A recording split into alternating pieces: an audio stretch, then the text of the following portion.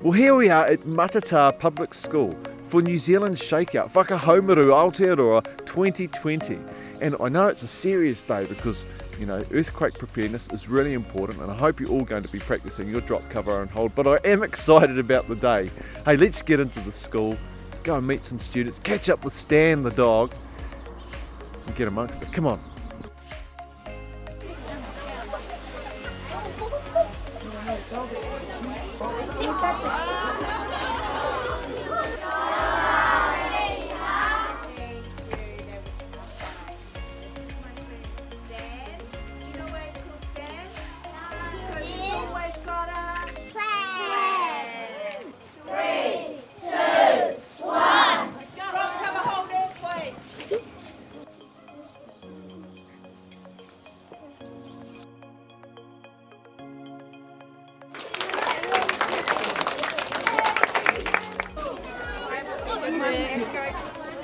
You take yours and put yours on.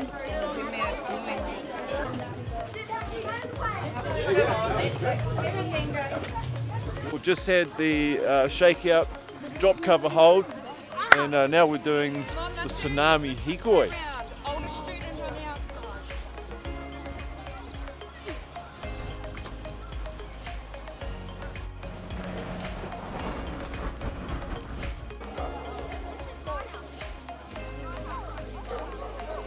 Well, there we go. Shakeout New Zealand Whakahaumaru Aotearoa 2020 done and dusted. You can see the students from Matata Public School fighting their way back into the kura, having done their hikoi, the tsunami hikoi, and a very successful drop cover hold as well. How did your event go at your place, at your school? Did you learn something new? Do you know what to do in the event of an earthquake?